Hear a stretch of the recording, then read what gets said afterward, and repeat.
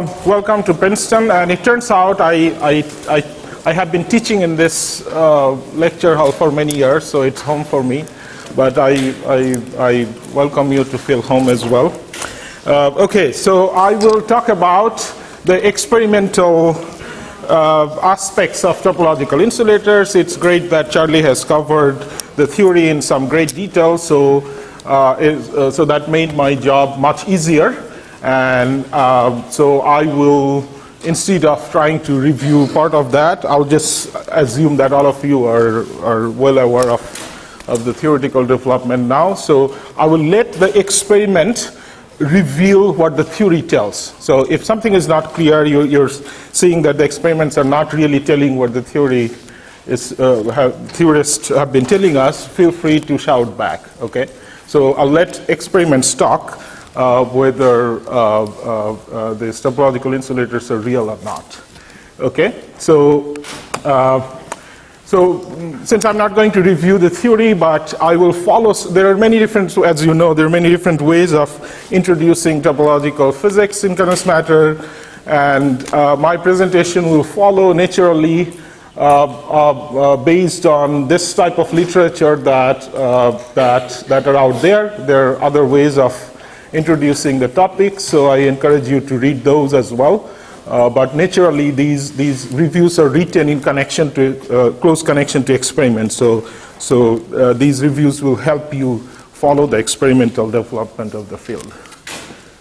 Okay, so I'm, I'm supposed to be uh, giving three lectures on this topic. They're more like talks. And so I, I, I sort of organize them in certain ways. So the first one will talk, well, the one, the first one will focus mostly on topological insulators, and that is the story of helical Dirac fermion. So, and then I will uh, sort of uh, walk over the phase diagram of topological insulators, mo the most general case of 3D, and come down to lower dimensions. Uh, and then uh, uh, what is the nature of this topological phase transition and related topological insulators. For example, topological crystalline insulator, what happens when you magnetize them, uh, and then I'll try to address a little bit, is there, uh, is there a possibility for realizing a Kondo type topological insulator with some Kondo physics. Uh, uh, so, and then the second lecture will focus on mostly on topological superconductors based on the first lecture, the topological insulators. There are many, topological superconductor is not a new topic. There are many, uh, many things have happened, both theory, in theory and experiment. So in this particular lecture, I'll focus on uh, superconductivity uh, based on topological insulators. Uh, uh, basically, the helical pairing, how helical pairing in topological insulators uh, leads to a Majorana platform. And then the third topic, I will go to a new paradigm. So topological insulator and superconductors, they both have gaps. So they're gap states of matter. So now uh, that way of thinking, it looks like uh, you must have a gap for, to classify uh, those systems. Otherwise, the boundary modes are not stable. When you close the gap, the boundary modes are, there's nothing to protect them. So there is a, there is a clever way uh, around it. Uh, uh, so in other words, there is, it is true that the topological, there is a, there is, there is a gapless topological physics, topological systems, the, the topological metals or semi-metals more precisely, uh, uh, where uh, your quasi-particles, the bulk quasi-particles are Weyl fermions, and incidentally or accidentally, the Weyl fermion its experimental discovery was just reported uh, last week. So, so this is very exciting topic. And this is, this is very interesting because now these are, if you like, gapless topological insulators. And, and on their surfaces, instead of Dirac fermions, you have, uh, uh, you have fractionalized Fermi surface in, on, the, on 2D. In 3D, of course, it's, uh, it's connected to the other surface. But if you look at it from the from the top, it looks like half of the Fermi surface is missing. And uh, I have been working on uh, in measuring Fermi surface for many years, maybe 20 years by now. Uh, this is the most bizarre experimental uh, thing I have seen, uh, what happened to my other half of the Fermi surface. So this is, this is going to be the focus of the third uh, lecture. And then um, And these fractional Fermi surfaces do all sorts of exotic things. So they form a 2D exotic metal, 2D topological metal, and then they lead to all sorts of anomalies. I may or may not have time to do talk about that. This is work in progress, but I may hint to the future of the field uh, along this line. And then, again, if I have time, I may also uh, say a few words what happens if you induce Cooper pairing in these fractional Fermi surfaces. So that's very, very bizarre stuff. So we are really pushing the frontier. Okay, so uh, the first two lectures would be more pedagogical because they're more well established. And this is more research, or frontline research oriented, but I like to, everywhere I lecture in summer schools, I like to mix and match some frontier stuff, some pedagogical, well established stuff.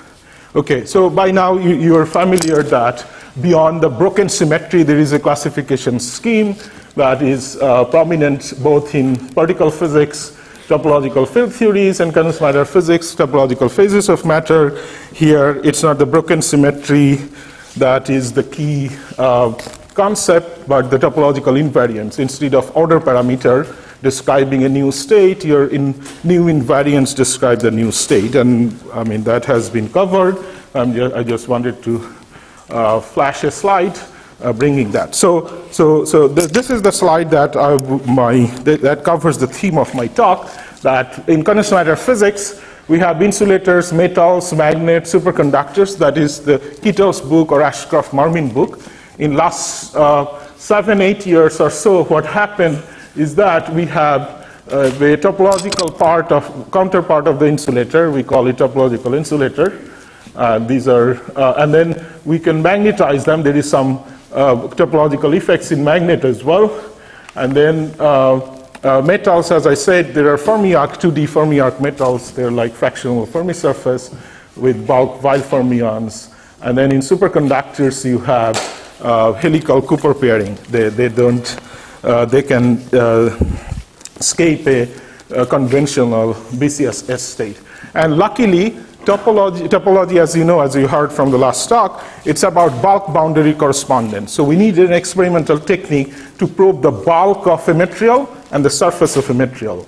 And that is what I'm going to be talking about. And all these images are from uh, angular resolved photoemission spectroscopy data. Uh, uh, uh I, it's mostly from my group. Uh, uh, my students are here, so each student's PhD thesis is attached to one of these images in the last few years. So, so the, this, this technique allows you to probe the surface, that is the boundary, and the bulk, that is uh, the, uh, the electronic excitations in the bulk. And then what we do is that see whether there is a correspondence between the bulk and boundary. So, uh, so at the end of the third lecture, I will show the, what I, will, I, I say is the emergence of topological condensed matter physics. That, that is the exciting thing. And now we have realization of all of that stuff. Okay, so uh, it did not happen out of the blue. There are, uh, so angular resolved photoemission spectroscopy is not new. It goes back to Einstein, really. Photoelectric. What we are doing is the uh, modern version of Einstein's photoelectric effect with uh, integrating modern technology as the technology has developed our experimental precision has developed as well. And so this technique is not, not really new. I did not invent that technique, of course. Uh, it has been around for uh, half the century. Uh, but what is happening is that now we have new problems to deal with. So we have to develop new routines for the experiments and new developments. And many of these experiments are uh, carried out at uh, various national labs where these huge accelerators run on a billion dollar budget or, or, or uh, construction costs. So we, we are partly involved in those beamline construction, and we also have labs down here in the basement. Actually, I can I have a secret way to go to my lab. It's, it takes only uh, uh, 80 seconds to go from here to my lab. So, uh, so, so all these developments are critical to, to, to realize these new, uh, uh, these new phases of matters. It, so I'm not going to review that. That might be boring for you. So now I'll jump into uh, the key results. So uh, as you have heard that uh, in 2D, the first 2D topological uh, insulator is the, in some way, is the, is the, char is the is the quantum Hall effect, right? Integer quantum Hall effect, and you have chiral edge states. So you have the gap in the in the bulk, and then you have the chiral edge states that breaks time reversal symmetry. And if you take, and this is described by one invariant, that's the Chern number, right? You heard from the last talk. And then you, if you consider two copies of the integer quantum Hall states, and then uh, if you, that, that allows you to uh, um, that allows you to make a time reversal invariant state. You take two counter-propagating uh, states, spin up and down, uh, and then they are held together by Rashba, and that's the Kane-Mele paper in 2005, and that uh, led, uh, gave birth to this time reversal invariant uh, topological insulator, but it's also described by one invariant. So in this case, it's the Z2 invariant. So you can think of Z2 invariant instead of a number, it's the parity, it's a par product of the parity of the wave functions, right? So Charlie told you all of that. So the consequence of that is that you'll get uh, counter-propagating spin momentum locked uh, edge states on the, on the boundary of the sample. And then, uh, so then you can uh, uh, so then these, uh, these edge states, they are protected from backscattering.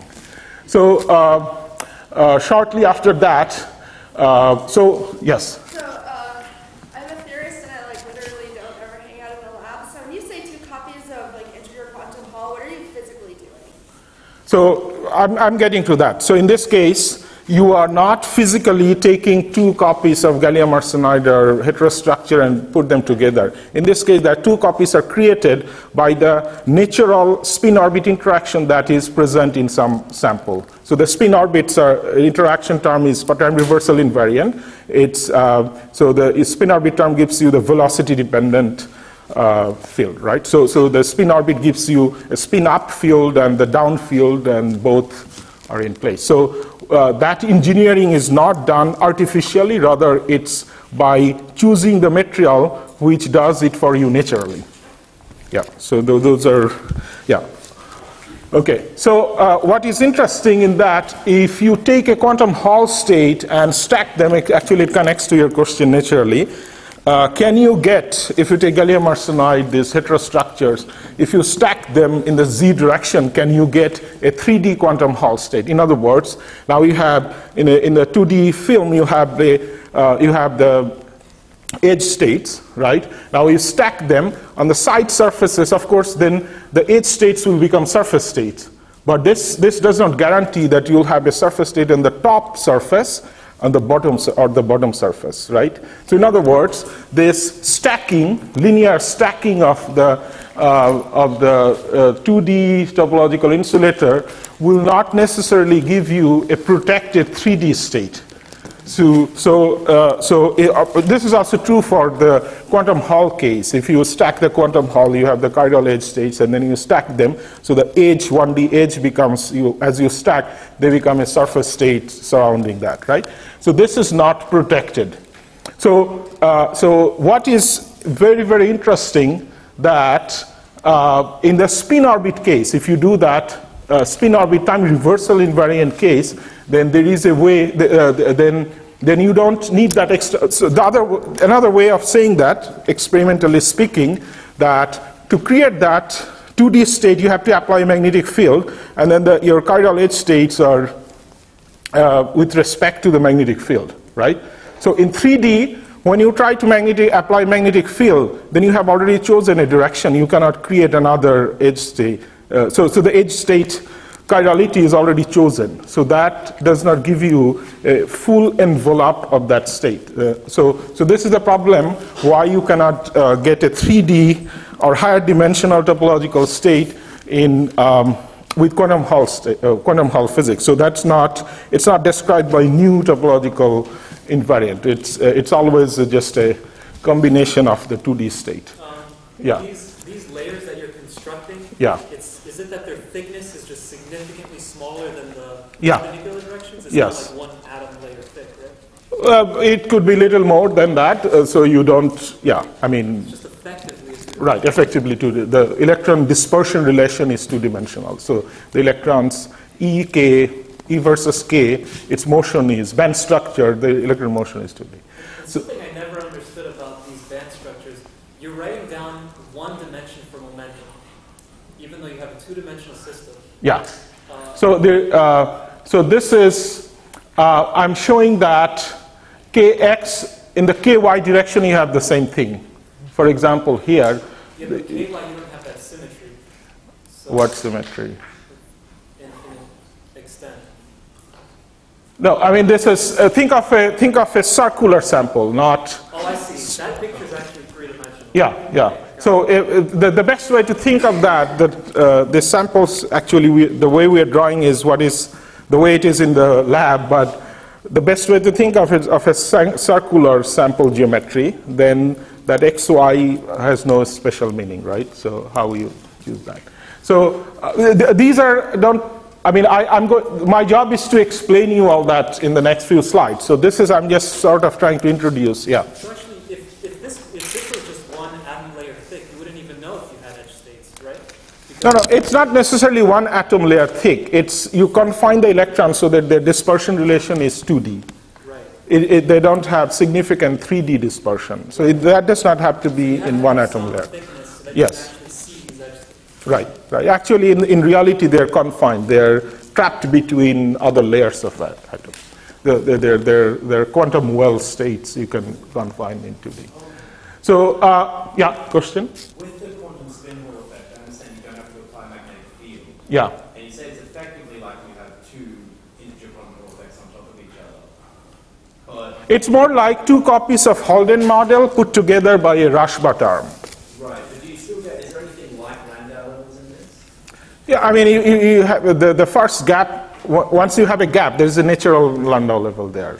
In other words, you don't have higher order Landau levels. So it's that sort of analogy, right? So in other words, in, in the quantum, act- integer quantum Hall, you can go from one Landau level to other. You can do that by tuning your field knob. Here, you are stuck. The material uh, band structure details already set you for something. Okay. So uh, in the 3D case, uh, now it turns out in 3D there is a new topological state which is not a stacked generalization of the 2D. So, um, we have a laser for it. oh, okay, good. Yeah, it, I think it's dying or something. The, oh. Uh, I, I could use, thanks. But, I- I uh, could it's really powerful on China that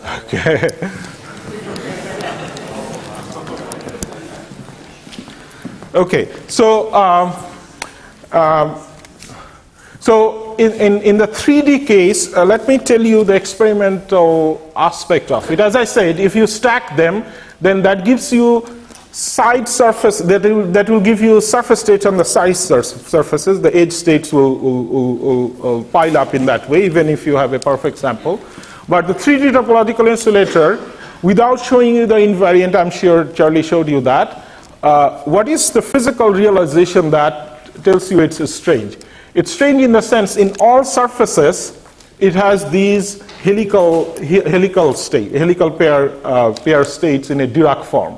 So in other words, it's not, uh, there is no special surface, there is no stacking or anything. And it's not only that, uh, no matter which uh, surface you chop, it, it will have that. You will have odd number of Dirac fermions spin momentum lock. It doesn't depend on the chemistry, and that is what is making, that is its manifestation that it's topological.